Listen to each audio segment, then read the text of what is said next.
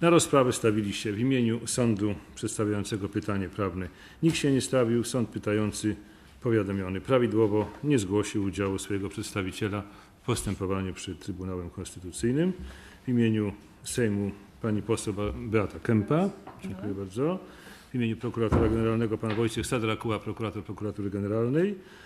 Do udziału w rozprawie na podstawie artykułu 38 punkt 4 ustawy o Trybunale Konstytucyjnym wezwany został minister środowiska, w imieniu którego stawili się pani Izabela Wereśniak-Masri, dyrektor Departamentu Prawnego w Ministerstwie Środowiska, pan Jerzy Lęcznar, radca ministra w Departamencie Leśnictwa i Ochrony Przyrody w Ministerstwie Środowiska. Dziękuję bardzo. Trybunał Konstytucyjny informuje, że rozprawa jest transmitowana w internecie. To będę prosił w takim razie e, panią sędziego sprawozdawcę o przedstawienie zasadniczych motywów pytania prawnego. Bardzo proszę pani sędzio. Uprzejmie dziękuję. Pytający sąd powziął wskazane w petitum pytania wątpliwości konstytucyjne w związku z rozpoznawaniem skargi kasacyjnej od wyroku Wojewódzkiego Sądu Administracyjnego w Gorzowie. Y, Te wątpliwości nasunęły się w związku z tym, że y, sąd, sąd administracyjny w Gorzowie w, y, oddalił skargę skarżących na uchwałę Sejmiku Województwa Lubuskiego z 2008 roku w sprawie podziału województwa na obwody łowieckie. Tą uchwałą właśnie dokonano podziału województwa na obwody łowieckie, a zaskarżona uchwała została wydana zgodnie z normą kompetencyjną, która wyrażona jest zdaniem sądu w artykule 27 ustępie 1 ustawy Prawo łowieckie. Uzasadniając swoje wątpliwości, sąd wskazał bardzo wiele argumentów. Dokładnie rzecz biorąc, powołał się na osiem rozmaitych argumentów. Po pierwsze, wskazał, że wskutek objęcia nieruchomości granicami obwodu łowieckiego właściciel nie może korzystać, cytuję, w sposób zgodny ze swoją wolą z tego, y, swojej, ze swojej nieruchomości, a ponadto staje się zobowiązany do tego, że z nieruchomości będą korzystały inne osoby. Sąd zwrócił szczególną uwagę na to, że na terenach obwodów łowieckich odbywają się polowania, które są organizowane niezależnie od woli właściciela nieruchomości. Wskazał także, że na właścicieli nieruchomości zostają nałożone najrozmaitsze obowiązki związane z prowadzeniem gospodarki łowieckiej. Drugi argument dotyczy tego, że z tytułu objęcia nieruchomości granicami obwodu łowieckiego właścicielowi nie przysługuje, jak twierdzi sąd, żadna rekompensata finansowa, a jedynie prawo odszkodowania za szkody wyrządzone w uprawach i płodach rolnych przez niektóre zwierzęta łowne oraz za szkody wyrządzone przy wykonywaniu polowania. Zwrócił też uwagę na to, że włączenie nieruchomości do obwodu łowieckiego powoduje obniżenie wartości tej nieruchomości, a wskazany uszczerbek nie jest przez państwo rekompensowany. Kolejny argument dotyczy tego, że sąd, sąd twierdzi, cytuję, że uprawnienie właściciela do rozporządzania nieruchomością lub pobierania z niej pożytków, choć formalnie niezakazane, staje się w związku z utworzeniem obwodu łowieckiego de facto iluzoryczne. Koniec cytatu. Nieruchomość gruntowa objęta granicami obwodu jest bowiem wydzierżawiana kołom łowieckim przez właściwy organ władzy publicznej z udziału właściciela. Dalej sąd twierdzi, że zaskarżona ustawa nie spełnia konstytucyjnego wymagania, aby ograniczenia prawa własności, a takie niewątpliwie wprowadza, wprowadzać jedynie w formie ustawy. Dalej sąd mm, twierdzi, że nie, jest, nie są legitymowane cele, ze względu na które wprowadza się obwody łowieckie. Y, Niewątpliwie, jak y, pisz, czytamy w pytaniu prawnym, tworzenie obwodów łowieckich jest uzasadnione względami ochrony przyrody, gdyż celem prowadzenia gospodarki łowieckiej jest zapewnienie ochrony zwierząt łownych i racjonalne gospodarowanie ich zasobami, to jednak dla realizacji tego celu nie jest konieczne wprowadzenie obwodów łowieckich na terenach, na których właściciele tych terenów nie wyrażają na to zgody. Prywatne grunty objęte granicami obwodów służą bowiem wbrew woli właściciela pewnej grupie osób, cytuję znowu sąd naczelny, jako miejsce uprawiania sportu i rekreacji, a także pewnej grupie przedsiębiorców jako źródło pozyskiwania dochodu z działalności gospodarczej polegającej na świadczeniu usług turystycznych obejmujących polowania. Konkludując ten argument, y, Naczelny Sąd Administracyjny stwierdza, że utworzeniem obwodu łowieckiego wiążą się nieproporcjonalne w stosunku do realizowanego przez ustawodawcę celu publicznego, jakim jest ochrona y, środowiska, y, obciążenia. W analizowanej sprawie zatem, zdaniem sądu, ustawodawca nie dokonał prawidłowego wyważenia kolidujących z sobą wartości. I jeszcze kolejne argumenty. Y, Zdaniem NSA nieproporcjonalny charakter kwestionowanych ograniczeń może prowadzić wręcz do naruszenia istoty prawa własności. Kumulacja ograniczeń będących następstwem objęcia nieruchomości gruntowej granicami obwodu łowieckiego prowadzi bowiem, w ocenie sądu, do pozbawienia właściciela realnej możliwości korzystania w zasadzie ze wszystkich uprawnień składających się na treść prawa własności. Ustanowienie obwodu łowieckiego dalej y, uzasadnia Naczelny Sąd Administracyjny jest wynikiem jednostronnego władczego rozstrzygnięcia organu administracji, a właściciele nieruchomości nie zostali wyposażeni w żadne instrumenty prawne umożliwiające im wyrażenie swojej woli czy chociażby opinii w przedmiocie objęcia gruntów stanowiących ich własność specjalnym reżimem prawnym. I wreszcie sąd pytający przytoczył także argumenty o charakterze prawno-porównawczym, powołał się na liczne już teraz wyroki Europejskiego Trybunału Praw Człowieka, w których zwrócono uwagę na to, że ograniczenia prawa własności wynikające z gospodarki łowieckiej bywają nieproporcjonalne do celu tej gospodarki. Marszałka Sejmu Rzeczypospolitej, przez Panią Marszałek Sejmu Rzeczypospolitej Polskiej do przedstawienia stanowiska w imieniu Sejmu. Niniejszym przedstawiliśmy wywód, który potwierdza nasze stanowisko przedyskutowane też przez Komisję Ustawodawczą i przyjętą jednogłośnie, iż artykuł 26 ustawy mm, z dnia 13 października 1995 roku Prawo łowieckie, artykuł 27 ust. 1 e, powołanej ustawy w punkcie pierwszym, artykuł 20, oczywiście w zakresie w jakim podział na obwody łowieckie oraz zmiana granic tych obwodów dokonywana jest w drodze uchwały Sejmiku Województwa, jakże, jak i artykuł 27 ust. 1 e, ustawy powołanej w zakresie, w jakim podział na obwody łowieckie oraz zmian granic tych obwodów dokonywana jest w procedurze pomijającej udział właścicieli nieruchomości prywatnych są zgodne z artykułem e, 64 ust. 1 ust. 3 w związku z artykułem 31 ust. 3 Konstytucji. Wysoki Trybunale, w polskim obowiązującym systemie prawnym funkcjonuje ustawowa zasada, że zwierzyna łowna w stanie wolnym stanowi własność Skarbu Państwa. Ta zasada ustawowa została niejako przyjęta z ustawodawstwa poprzedniego, bo już w latach 50. w dobie PRL-u tak to ustawodawca stanowił.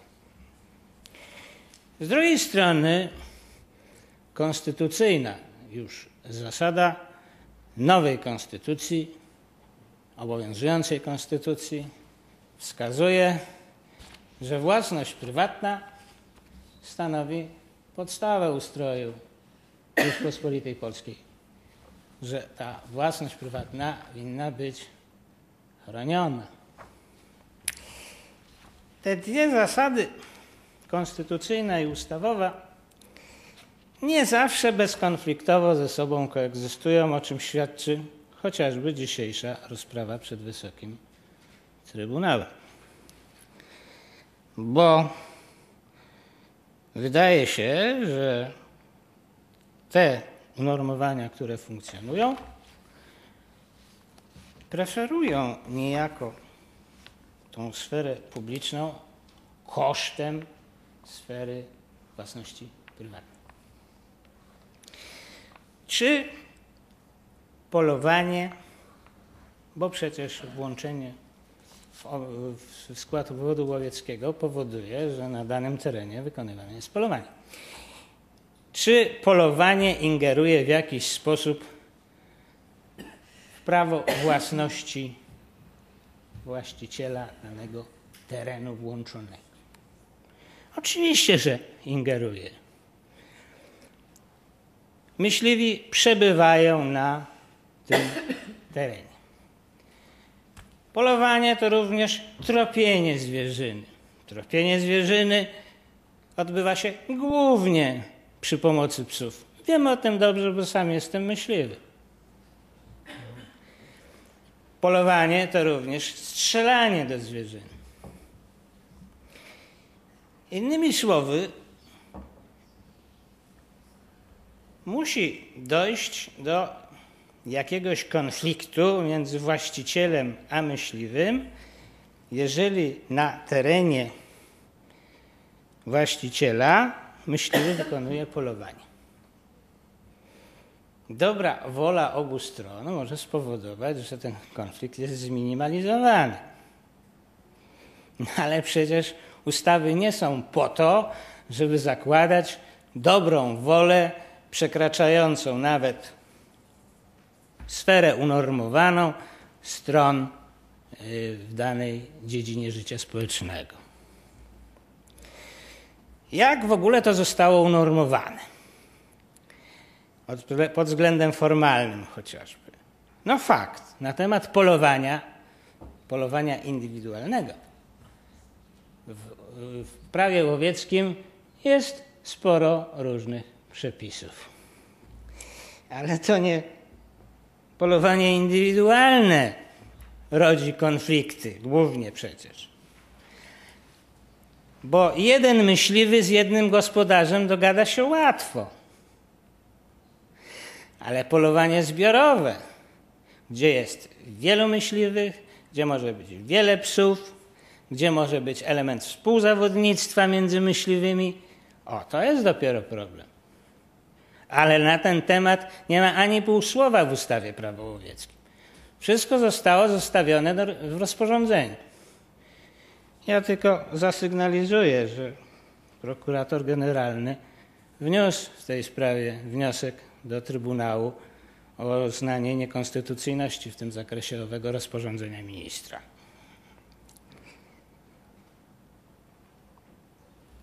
Wiele swojej, czasu swojej wypowiedzi wysoki przedstawiciel Sejmu poświęcił kwestiom odszkodowawczym. No, w Trybunale jest też kilka wniosków w tym przedmiocie e, różnych podmiotów, w tym prokuratora generalnego. A jak wygląda unormowanie kwestii odszkodowawczych, orzekał Trybunał w sprawie, o w sprawie bobrów. Ustawodawca łaskawie zezwolił, żeby ktoś, kto poniósł szkodę w związku z działalnością zwierzyny, no, no normalną działalnością zwierzyny zgodną z, z etiologią, może domagać się odszkodowania czasami. Czasami, bo jeżeli szkoda w określonych uprawach, bo jeżeli jest szkoda wyrządzona przez określone zwierzęta, bobry to zwierzęta chronione. Ale jeśli chodzi o prawo łowieckie, to nie ma większej różnicy. Tak samo czasami można domagać się y, odszkodowania za szkody wyrządzone przez y, zwierzęta, które postępują zgodnie ze swoją naturą. Jedzą, tarzają się, mają swoje szlaki komunikacyjne, a to wszystko powoduje określone szkody. No i jeszcze jeden element. Nad tym się zastanawiamy dopiero w prokuraturze generalnej. Ustawodawca przerzucił odpowiedzialność odszkodowawczą z siebie, czyli ze skarbu państwa, na myśliwych. No dobrze, no tak ustawodawca uznał. Kwestia odszkodowań w Konstytucji nie jest normowana. No ale jak już się coś normuje, to trzeba unormować zgodnie z zasadami konstytucyjnymi. Jeżeli koło łowieckie jest w dobrej kondycji finansowej i jeżeli koło łowieckie ma poprawne stosunki z ludźmi, którzy żyją y, i mają swoje gospodarstwa czy, czy, czy działki na terenie obwodu łowieckiego, to problemy pojawiają się rzadko. Ale jeżeli koło nie ma płynności finansowej, no to z czego ono zapłaci? Nawet to takie umiarkowane, częściowe odszkodowanie. Także z punktu widzenia właściciela to już ta sprawa tak oczywista nie jest. Mówi się, że łowiectwo to ochrona środowiska. No tak to ustawodawca ustanowił. I prawidłowo funkcjonujące łowiectwo również, również powiadam, zajmuje się ochroną środowiska. No ale przecież to, że tego ustawodawca nie napisał, nie zmienia faktu, że łowiectwo to też sport i to też rekreacja swoista pojęta. I nie przesądzając proporcji, ile tam tej rekreacji, a ile tam ochrony środowiska. No nie można twierdzić, że łowiectwo to tylko jedna strona medalu. No a skoro tak, to nie można jedynie patrzeć na to, żeby skarb państwa nie poniósł żadnych kosztów, bo albo część tych kosztów poniosą myśliwi, większość tych kosztów poniosą obywatele, którzy posiadają nieruchomości na terenie obwodu łowieckiego. I w związku z tym, no, jakaś proporcja jest konieczna. A czasami to bywa tak, że to nie tylko kwestia proporcjonalności. No oczywiście ten kazus prawny, który stał się podstawą wniesienia przez yy, Naczelny Sąd Administracyjny pytania prawnego, jest kazusem specyficznym, no ale, ale jest i zgodnie z yy, prawem sąd, Naczelny Sąd Administracyjny mógł zapytać, no jeżeli właściciel stawów nie mógł tych stawów przystosować do właściwej gospodarki rybnej, ja już nie wnikam w kwestie dowodowe i w kwestie, kto tam miał rację w jakim zakresie, bo sąd konstytucyjny przecież tych rzeczy nie bada. No ale jeżeli taki problem zaistniał, to już to nie jest kwestia proporcjonalności. Bo jeżeli by tak było, jak twierdzi sąd, to to już jest kwestia istoty prawa do, do, yy, do własności.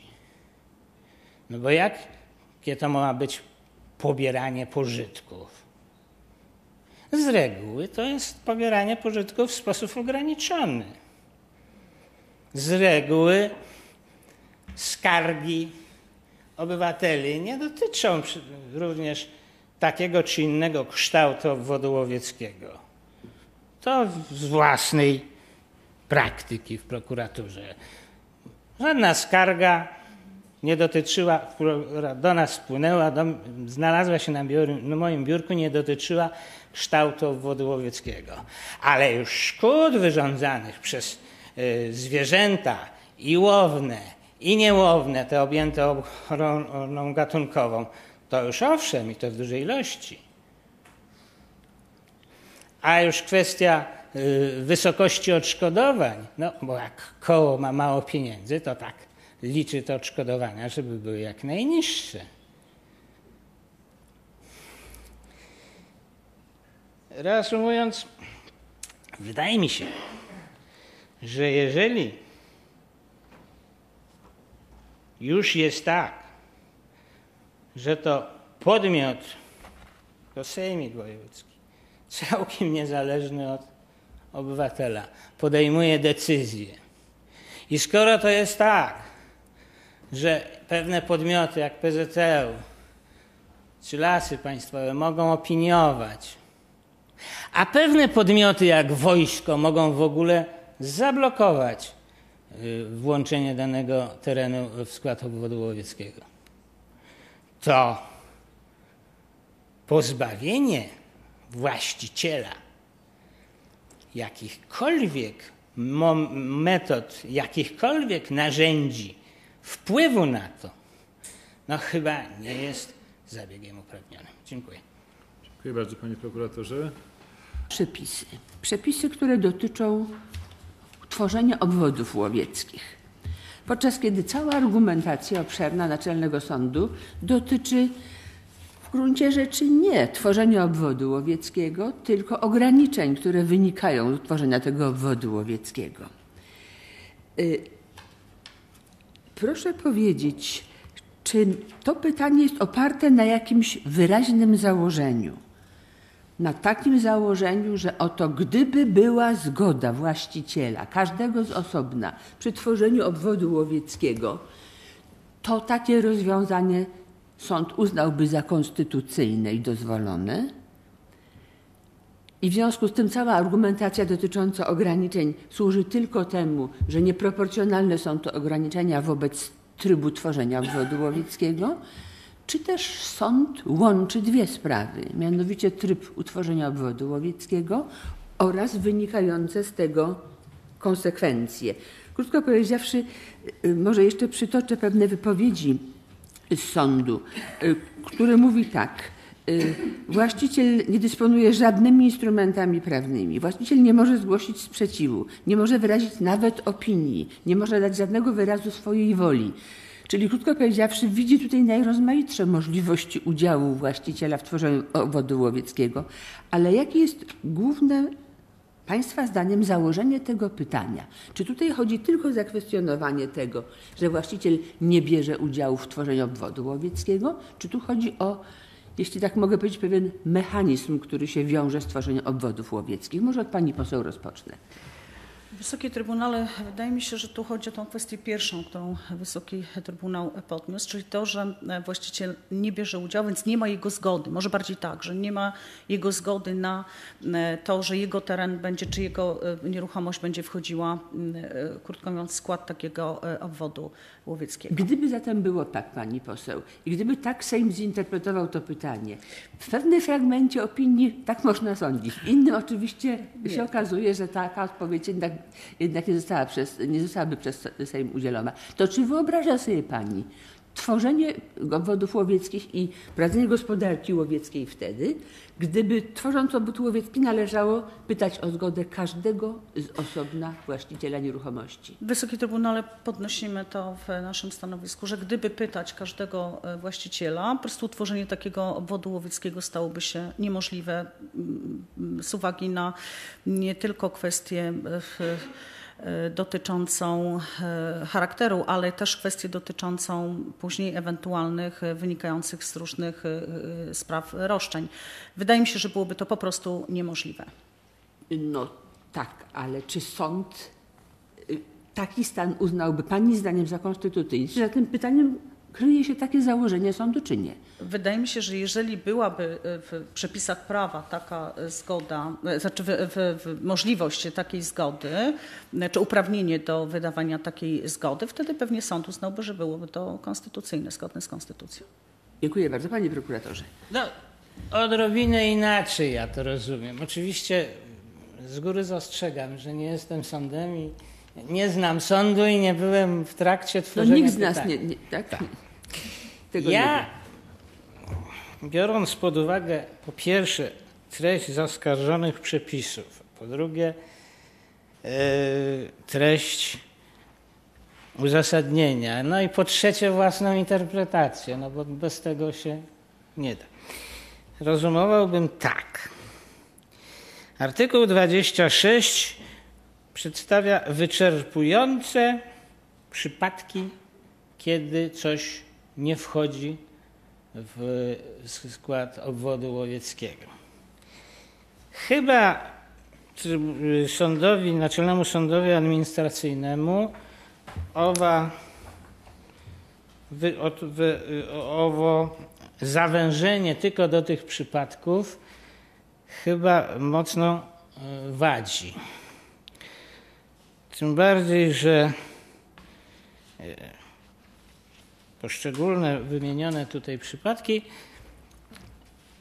i tak ograniczają tą jednolitość, jednolitość obwodu łowieckiego. Innymi słowy, tu chyba raczej chodzi o pominięcie ustawodawcze. Tak mnie się wydaje, no bo tego sąd nie napisał. Że powiedział, że tylko wtedy i wyłącznie wtedy nie wchodzi i koniec. nie ma tu żadnego miejsca na y, ocenę sytuacji, kiedy na przykład, no, tereny przeznaczone na cele społeczne czy kultu religijnego nie będą ogrodzone. Czy to brak tego ogrodzenia przesądza, że nie mogą być wyłączone? To jest taka, taka moja sugestia. Bo z mojego punktu widzenia to chyba nie powinno być tak, żeby formalnie stwierdzać, że tylko takie przypadki y, uzasadniają wyłączenie, no bo potem pan powód, który, mm, którego y, pisma procesowe skłoniły w jakimś tam zakresie sąd pytający do zadania pytania, no żeby on nie wiem jak miał rację, to terenu nie ogrodził, postawił tablicę i w związku z tym on może 15 skarg złożyć. Jak się prawo nie zmieni, to nikt mu tych skarg nie uwzględni. To jest jedna rzecz. A druga jest taka, w artykule z kolei 27. Tutaj mowa, że Sejmik Wojewódzki ma zasięgać opinii właściwego dyrektora Regionalnego Dyrekcji Państwowego Gospodarstwa Leśnego Lasy Państwowe, Polskiego Związku Łowieckiego, Izby Rolniczej. A o właścicielu nic. Nawet nie ma możliwości złożenia opinii. Ja już nie mówię o uzależnieniu od tej opinii, ale możliwości złożenia opinii. A zgoda. No może zgoda byłaby niewygodna i pracochłonna dla tych, którzy wydają opinię. Czy to zawsze yy, usprawiedliwiało urzędnika? No niekoniecznie. A poza tym, no jak niezgoda, to brak sprzeciwu. Nawet w prawie karnym, które jest bardzo restrykcyjne i bardzo, yy, powiedzmy, dba o te standardy praworządnościowe, przyjmuje się, że brak sprzeciwu ma taki skutek prawny, jakby ktoś wyraził zgodę albo, albo popierał Panie dane przerywam. Oczywiście to są moje takie Tak. wolne sugestie, bo ja nie wiem, co sąd myślał. Natomiast ja myślę, że takie dwubiegunowe stawianie sprawy albo pan właściciel stawu się zgodzi, albo się nie zgodzi. No, nie jest chyba konieczne, żeby rozstrzygnąć to zagadnienie, bo między jednym a drugim stanem prawnym jest jeszcze szereg chyba dopuszczalnych yy, elementów. No ale jeżeli ustawodawca właśnie wychylił wahadło w jedną stronę, powiedział, tylko ci, a inni nic nie mają do gadania, no to chyba jest nie w porządku. A że sąd tego, chociaż w pewnym momencie tam jest takie stwierdzenie, że, że właśnie nie tylko nie, nie ma zgody, ale i nie ma opinii w uzasadnieniu. To właśnie. jest takie bardzo takie luźne, ale może usprawiedliwia nieco moje dywagacje. Proszę powiedzieć, czy stan konstytucyjności byłby zatem osiągnięty, gdyby zmieniono procedurę tworzenia obwodów łowieckich poprzez na przykład to, że właściciel nieruchomości wyraża swoją opinię. No już byłoby dużo lepiej. Już można by było, czy wyraża swoją opinię, czy nie, nie zgłasza sprzeciwu. No, w każdym razie byłaby to jego. Ja, ja tu nie przesądzam, jakie, jakie, jakie rozwiązanie Trybunał by uznał na przykład za właściwe, no bo też Trybunał jest. Sędzi, jest ustawodawcą negatywnym, więc trudno poprawiać ustawodawstwo. Ale przyjęcie jakiejś tego typu formuły, albo całkowicie, albo w znacznej części yy, załatwiałoby chyba sprawę. Cały czas pytamy dokładnie o to, co o co sąd chciał zapytać Trybunał, czy zapytał Trybunał. Proszę powiedzieć, zatem to jest pytanie dotyczące tylko procedury, tylko ograniczeń, które wynikają w wyniku uczynienia użytku tej procedury, czy jednej i drugiej sprawy? No chyba Zapytam jednej, wprost. jednej i drugiej. Tak ja to przynajmniej y, odebrałem. A jak pani poseł sądzi?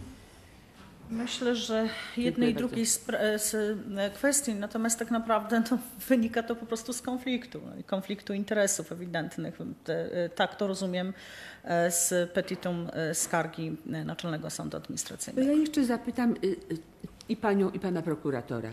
Y, Nie zauważyłam, żeby w stanowiskach y, państwa zakwestionowano co do zasady przyjmowany w Polsce model gospodarki łowieckiej, taki, w którym właśnie gospodarkę prowadzi państwo. Czy tak? My nie Sejm na pewno tego, nie. Tak, Panie kwestionujemy. prokuratorze. Wysokie Trybunale, no. Oficjalnie prokurator generalny tego nie kwestionuje. Właśnie. Aczkolwiek nasz model na tle europejskim jest wielce specyficzny. Tak to powiedziałbym. Czyli przyjmując, że nie kwestionuje, różnica między państwem polega na ustaleniu tego, że ograniczenia są wedle Sejmu proporcjonalne, wedle prokuratury nieproporcjonalne. To teraz chciałabym zadać kilka jeszcze pytań do przedstawicieli y, pana ministra. Dobrze. Mianowicie tak. Artykuł 23 prawa łowieckiego stanowi, że obwód łowiecki to obszar gruntów o ciągłej powierzchni zamkniętej jego granicami, nie mniejszy niż 3000 hektarów, na którego obszarze istnieją warunki do prowadzenia łowiectwa. Ten warunek istnieją warunki do prowadzenia łowiectwa. Czy on jest weryfikowany przy tworzeniu obwodów łowieckich, czy też przyjmuje się automatycznie, że województwo dzieli się na obwody łowieckie z wyłączeniem tych rodzajów gruntów, które są wymienione w artykule 26 i z natury rzeczy cała reszta spełnia warunek do prowadzenia łowiectwa. Krótko powiedziawszy, czy ten warunek spełnia jakąkolwiek rolę przy tworzeniu obwodu łowieckiego, czy też nie w praktyce? To moje pierwsze pytanie. Bardzo proszę, kto z Państwa? Pan radca, tak? Bardzo proszę. Wysoki Trybunale, e, właśnie dlatego, żeby określić e, te warunki do prowadzenia e, gospodarki łowieckiej, są zasięgane opinie Lasów Państwowych, Polskiego Związku Łowieckiego i także Izby Rolniczej. Bo zasadą działania, prowadzenia tej gospodarki łowieckiej jest to, żeby ona była na danych granicach tego wodu samodzielna, nazwijmy to samodzielna, niezwiązana z y, warunkami występującymi w sąsiednich obwodach łowieckich. Tak, aby ten podmiot, jakim jest koło łowieckie, mógł tę gospodarkę niezależnie prowadzić. Oczywiście y, są ruchy zwierzyny, które y, przecież się przemieszcza cały czas. To też jest, y, to też jest uwzględniane podczas planowania, ale podstawą jest właśnie to. I teraz do czego może się sprowadzać opinia lasów państwowych? Jak są usytuowane kompleksy leśne na danym tym terenie proponowanym do e, objęcia granicami wodu łowieckiego? E, Czy e, jakie gatunki zwierzyny występują na, w tych, e, m, powiedziałbym, kompleksach leśnych? Jakie są połączenia między kompleksami leśnymi, bo ich przecież kilka może być w obwodzie, mniejszych czy większych, czy te tak zwane korytarze ekologiczne, czy drogi przemieszczania się zwierzyny, czy one e, są na tyle drożne, że po prostu nie są e, przerywane jakimiś osiedlami, drogami, czymkolwiek, co by przeszkadzało w swobodnym e, przemieszczaniu się tej zwierzyny. Teraz przy zwiększonej, że tak, zwiększonej powiedział, inwestycjach na drogownictwo, na drogi szybkiego ruchu, powstały pewne problemy właśnie przy podziale obszarów kraju na grunty, na wody łowieckie, spowodowane odcięciem części niektórych obwodów łowieckich od, ich, od, zasad, od części ich zasadniczego, że tak powiem, obszaru. To są właśnie te warunki, które musi spełniać owód, żeby być, mógł, można być wykonywana gospodarka łowiecka. Dobrze. y, Pyta się również i inne podmioty.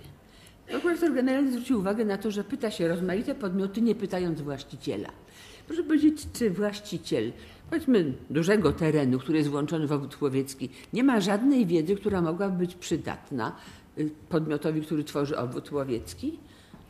Dlaczego, dlaczego jego się nie pyta? Choćby z tego względu, że być może informacje od niego uzyskane mogłyby wpłynąć na decyzję dotyczącą wytyczenia granic obwodu łowieckiego. Być może, jeżeli odpowiedni y, y, byłby właścicielem jakiejś znaczącej, znaczącej powierzchni tych gruntów. Nasze gospodarstwa, nasze, nasze gospodarstwa, naszych rolników zwykle się kształtują 10-20 hektarów, rzadko się zdarza kilkaset, znaczy nie, już teraz nierzadko, ale kilka tysięcy. To już są bardzo potężne gospodarstwa i takich gospodarstw jest mało. Na pewno takiego właściciela, który ma 3, 4, 5 czy więcej tysięcy hektarów, warto by było zapytać, e, o e, warunki, jakie tam panują. Ale jeszcze jest e, w jednym z opiniodawców jest też Izba Rolnicza. Izba Rolnicza powinna e, w tym materii swoją opinię e, właśnie e, w swojej opinii wykorzystać przede wszystkim opinię rolników. Właśnie Ich zadaniem jest właśnie zbierać takie opinie. Chciałabym zapytać, na ile, na ile te izby rolnicze reprezentują interesy poszczególnych rolników właśnie w tej procedurze Uważamy, że znaczenie izb rolniczych jest bardzo wysokie, ponieważ e, na polu konfliktów, które mogą zaistnieć na linii e, rolnik, właściciel władający gruntem, a wykonujący polowanie, e, przy szac- przy szacowaniu szkód wtedy e, rola izby rolniczej bardzo rośnie. I zarazem jest jednym Ale przy szacowaniu szkód, a ja pytam o tworzenie obwodów łowieckich. Panie radco, Ja chciałem w ten sposób powiedzieć, że ich wiedza e, pomaga e, obu stronom. Pomaga obu stronom, bo e, znając uwarunkowania, stanowią pewien rodzaj, że tak powiem, odwołania się obu stron przy szacowaniu szkód, a także przy, powiedziałbym, w takim wypadku przy tworzeniu obwodu. proszę powiedzieć, w piśmie, które otrzymaliśmy y, z ministerstwa, wyraźnie się wskazuje, że ta liczba skarg, która wpływa do ministra nie jest wielka, prawda? Informacje, które y, uzyskujemy od rzecznika są nieco inne. Okazuje się, że częściej obywatele skarżą się do rzecznika niż do, niż do ministra. Y, Nie skarżą się na objęcie granicami swoich swoich nieruchomości. Ale czy skarżą się na to, że, albo czy wnoszą o wyłączenie, albo o wyłączenie niektórych ograniczeń w stosunku do nich w konkretnych przypadkach? Tak Wysoki Trybunał e, e, w tej chwili e, oświadczył, faktycznie tych, tych skarg jest bardzo mało. Są to pojedyncze przypadki, tak jak w piśmie mojego ministra zostało to podniesione. Mógłbym nawet przywołać przykład takiej, takiej skargi jednej. Jeżeli Trybunał sobie pozwoli mi to powiedzieć, to mógłbym to opowiedzieć, ale nie wiem, czy akurat nie jest to potrzebne. E, tak jak zostało powiedziane, e, częściej e, otrzymujemy skargi na brak chęci wykonywania polowania na gruntach danego rolnika. Wiąże się to przede wszystkim z zabezpieczeniem jego majątku, jego upraw, jego nieruchomości przed szkodami od zwierząt łownych. I to jest główny, przy, główna przyczyna konfliktów. A proszę powiedzieć, y, jakie środki prawne, m, proszę wymienić przykładowo środki prawne, którymi dysponuje właściciel nieruchomości włączonej w skład obwodu łowieckiego, żeby w stosunku do niego dane ograniczenie zostało wyłączone na stałe albo czasowo. O, bardzo proszę. Wysoki Trybunale, ja może jeszcze uzupełniając do poprzedniego pytania w zakresie izb rolniczych. To są podmioty, które są bardzo aktywne, ponieważ na gruncie innych obszarów działania ministra środowiska jest to wyraźnie widoczne. Y, Szczególnie przy wyznaczaniu obszarów szczególnego narażenia y, na gruncie prawa wodnego, gdzie wyznacza się obszary przy ciekach wodnych, gdzie są ograniczone możliwości nawożenia i stosowania odpowiednich dawek nawozów, tam również są zasięgane opinie izb rolniczych. E, I na tym gruncie są to podmioty bardzo aktywne, na tyle aktywne, że regionalne zarządy gospodarki wodnej nie są w stanie powyznaczać tych obszarów, nawet na tyle, na ile to wynika z ekspertyz naukowych. Dlatego, że jak gdyby nie leży to w interesie rolników, on, rolnicy swoją opinię za pośrednictwem izb rolniczych są w stanie doskonale wyrazić. Także również na gruncie tych przepisów nie wydaje się, aby istniała przeszkoda do wyrażania opinii przez te podmioty za pośrednictwem Izby Rolniczej. Znaczy, Nie wydaje się, że iżby istniała, ale na ile to jest skuteczne? E, To tutaj chyba należy wrócić do, do pierwszego pytania Trybunału dotyczącego tego, o co tak naprawdę zapytał Naczelny Sąd Administracyjny. Dlatego, że nie wydaje mi się, aby Naczelny Sąd Administracyjny e, wskazał właściwy wzorzec konstytucyjny do zbadania tych dwóch przepisów ustawowych, które wskazał. Ponieważ jeżeli został wskazany wyłącznie artykuł 64 ust. 1 i 3 i artykuł 31 ust. 3 Konstytucji, to jak się wydaje jest to wzorzec adekwatny, ale wyłącznie do artykułu 26 w takim kształcie y, ustawy, jak ona jest obecnie. Dlatego, że nawet dodanie w tym momencie opinii właściciela nieruchomości rolnej, podkreślam opinii przy wyznaczaniu obwodu łowieckiego, tak naprawdę mogłoby być wzięte pod uwagę przy wyznaczaniu tego obwodu w bardzo niewielkim stopniu, dlatego że artykuł 26 precyzuje, co nie wchodzi w skład obwodu, jakie nieruchomości nie wchodzą w skład obwodu i mamy ten drugi warunek, że obwód musi być jednolity i spełniać warunki do prowadzenia gospodarki łowieckiej. Więc jeżeli właściciel nieruchomości wyrazi opinię, że on nie chce tego włączenia, ale te warunki do prowadzenia gospodarki Istnieją. to moim zdaniem taka opinia nie mogłaby być wzięta pod uwagę. Jakby nie, nie będzie miała znaczenia dla wyznaczenia obwodu. Dlatego wskazany wzorzec konstytucyjny przez NSA wydaje się właściwy jedynie w zakresie artykułu 26. Takie, takie jest moje stanowisko. Natomiast w zakresie pytania dotyczącego e, skarg, to potwierdzam również z zakresu Departamentu Prawnego, dlatego że akurat e, do tego departamentu wpływa zdecydowana większość i zapytań prawnych, i tak naprawdę skarg, i wniosków o zmianę przepisów prawa że właściwie takich skarg nie ma. To znaczy skarg na uciążliwości związane z wykonywaniem polowania, czyli na konieczność znoszenia obecności czasowej myśliwych na swojej nieruchomości. Natomiast potwierdzam, że są wnioski czy wręcz żądania wykonywania polowania polegające na tym, że rolnik pisze, e, że stada dzików pojawiają się na terenie mojej nieruchomości, proszę natychmiast się tym zająć i przeprowadzić polowanie, czy tam kolokwialnie mówiąc, e, ludzie piszą, proszę mi te zwierzęta wystrzelać na moim terytorium. E, Dla, nie będę odnosiła się do problematyki szkód łowieckich, dlatego że nie to jest mm, przedmiotem pytania e, NSA. Rzeczywiście toczyły i toczą się i będą się toczyć kolejne sprawy, ale na gruncie ustawy o ochronie przyrody, jeszcze nie na gruncie tej ustawy. Co do środków prawnych, jakie przysługują właścicielowi w przypadku wykonywania polowania na jego nieruchomości. E, To ograniczenie prawa własności, które niewątpliwie jest w tym przypadku, polega w mojej ocenie tylko i wyłącznie na konieczności znoszenia, czyli tolerowania okresowej obecności myśliwych i prowadzenia polowania na nieruchomości. Przy czym ja nie mogę zgodzić się ze stwierdzeniem, że to grozi bezpieczeństwu właściciela nieruchomości, dlatego że polowania nie są prowadzone na terenach ogrodzonych, a grodzi się przeważnie, to znaczy zawsze grodzi się nieruchomości zabudowane, nie grodzi się przecież pól. E, Obwody łowieckie e, to są obwody leśne i polne, czyli jak gdyby z samej definicji obwodu e, widać, że polowania prowadzone są w lasach, przy czym lasy w zdecydowanej większości stanowią własność Skarbu Państwa i są to lasy państwowe. Obwody polne, czyli polowania prowadzone są na terenach otwartych, na terenach tak naprawdę wykorzystywanych rolniczo albo pod uprawy rolne, albo pod łąki, albo na nieużytkach. Przepraszam, że przerwę. A jak Pani ocenia obowiązek informowania właściciela o polowaniu? E, W przypadku polowania zbiorowego ten obowiązek e, jest realizowany, jest wykonywany i w praktyce tutaj e, z dyskusji z Departamentem Merytorycznym wiemy, że właściwie się nie zdarza, aby mieszkańcy, właściciele nieruchomości nie wiedzieli o polowaniu Ale ja zbiorowym. o w formie informowania.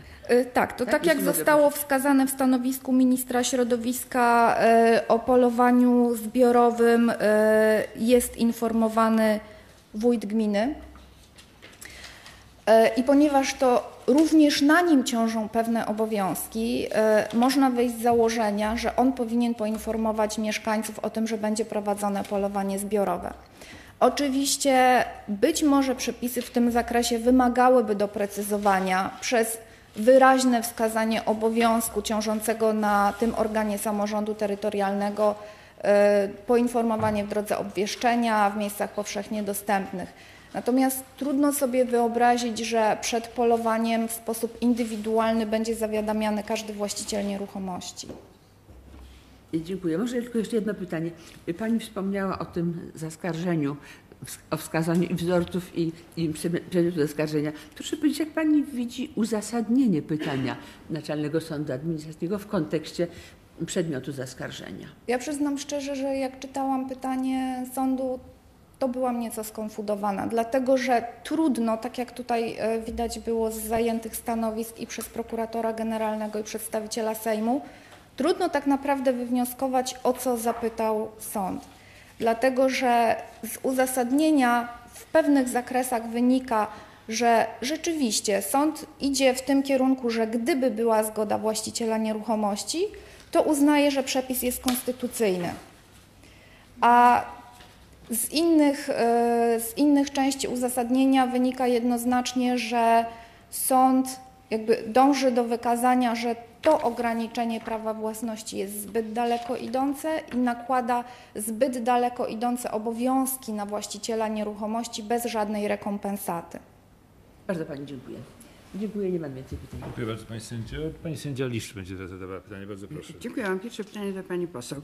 W związku ze stanowiskiem Sejmu pisemnym i potwierdzonym tutaj bardzo tak wyraziście e, w czasie ustnego wystąpienia. E, Według Sejmu e, włączenie nieruchomości do obwodu łowieckiego nie łączy się z jakimś istotnym naruszeniem własności i ograniczeniem uprawnień.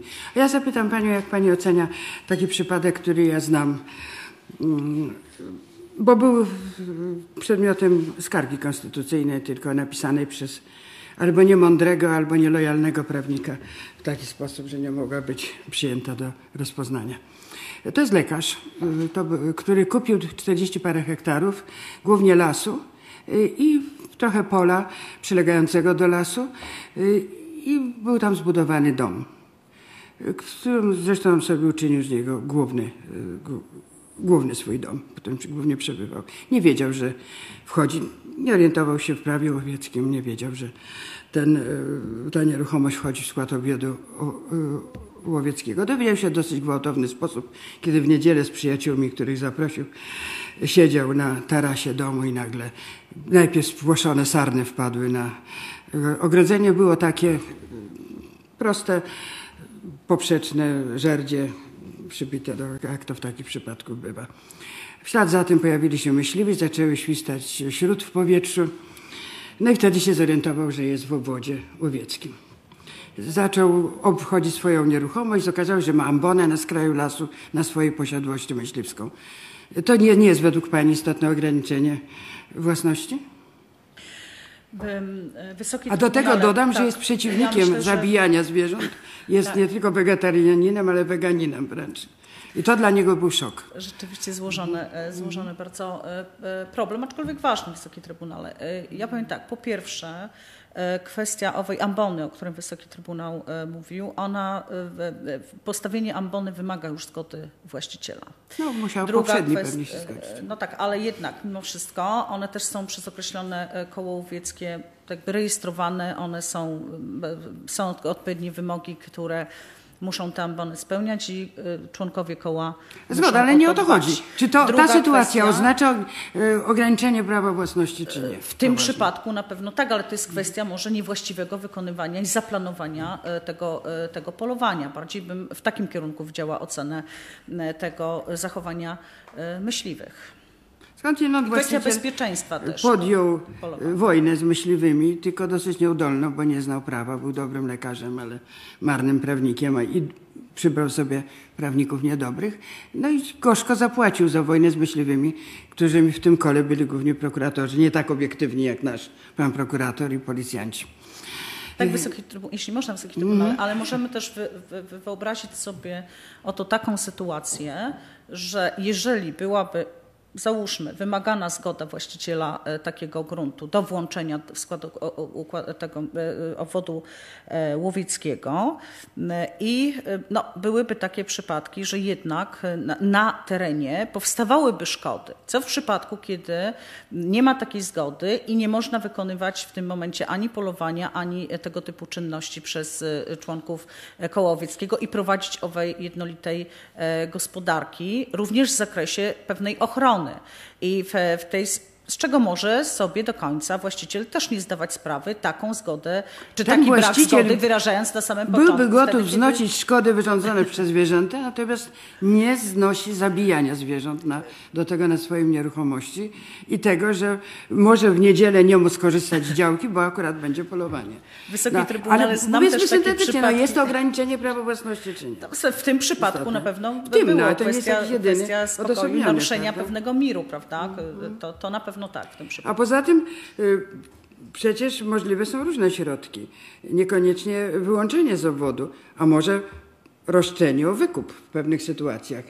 Ogóle się trzeba zastanowić, czy jakieś jednak środki ochrony tej własności powinny być. Dziękuję bardzo. Ja mam pytanie do pana prokuratora, który muszę powiedzieć, że mnie niezwykle y, mile zaskoczył swoim obiektywizmem jako myśliwy i Wysoki- zrozumieniem i empatią dla właścicieli. Bardzo mi miło, Wysoki Trybunale, ale ja zawsze staram się przedstawić swoją opinię, nie bacząc nawet na oczekiwania człon, y, uczestników postępowań. Czasami Wzorcowa postawa. tak jest. Chociaż myśliwych nie lubię, ale postawę taką. Jeśli chodzi o to... Ale o panie prokuratorze, tak, przepraszam, o co chciałam Tak, zapytać, bo pan, pan mnie zaintrygował jedną wypowiedzią, która została urwana.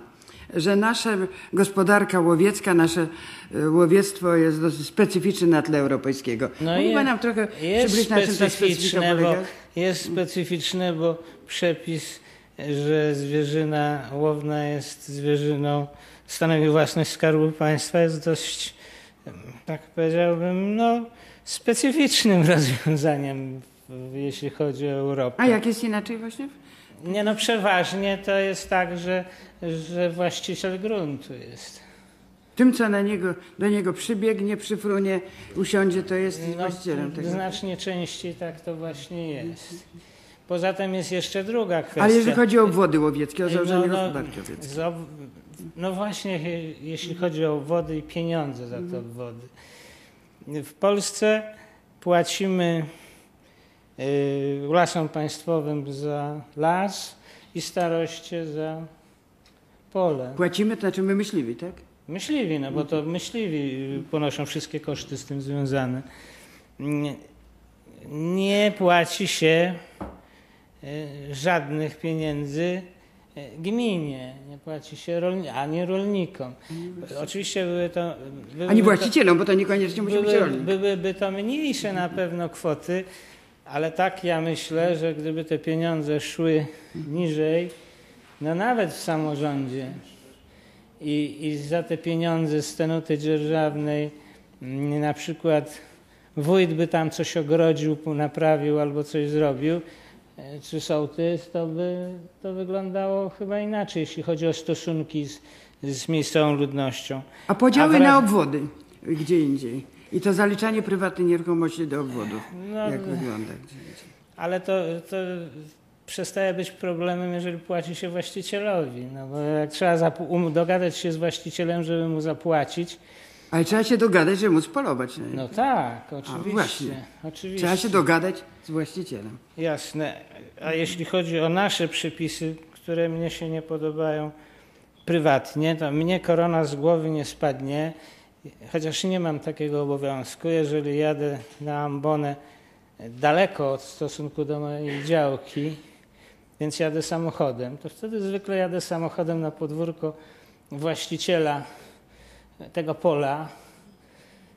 Witam się z nim grzecznie. Pytam się, czy on będzie miał coś przeciwko, chociaż nie mam takiego obowiązku. On z reguły mówi, ależ proszę bardzo, niech pan te dziki wszystkie wystrzela. I on wie, że ja jestem na tej ambonie i dzieciaki mi pod ambonę nie polecą. Tak samo zawiadamianie o polowaniach zbiorowych. Jak to jest tą skutecznością zawiadomienia, z prawnym obowiązkiem i z jego realizacją? No więc jak w koło podejmie ekstraordynaryjne e, czynności, żeby zawiadomić, to ludzie są zawiadomieni. Na przykład u nas wszyscy członkowie miejscowi koła łowieckiego mają taki no niepisany obowiązek, żeby e, sąsiadom, no tam gdzie się będzie odbywać polowanie, no bo przecież nie na całym obwodzie, mówią, że będzie polowanie, a również i e, funkcyjni w kole czy wyznaczeni koledzy też rozmawiają na ten temat. Także dzięki temu nie ma w tej chwili żadnych Ale to mówi pan prokurator, Ale że to są ekstraordynaryjne działania. Dobra to wola jest, To jest koła, dobra tak? wola koła. To jest dobra wola koła. Bo przecież yy, obowiązek jest tylko zawiadomić administrację. No. Aha, i czy od administracji zależy, od gminy, od urzędu gminy, Jak, czy za, jak są zawiadomić? sprawni, to zawiadomią dalej, a jak są niesprawni, to nie zawiadomią. No. To, już, to już zależy od stosowania prawa w A poszczególnych... w innych państwach, takie, które stawiamy sobie za wzór o starych demokracjach, y, jest możliwość y, niezgodzenia się przez prywatnego właściciela. No jak nie wydzierżawi, to nie... Czyli to zależy od właściciela w istocie. No owszem.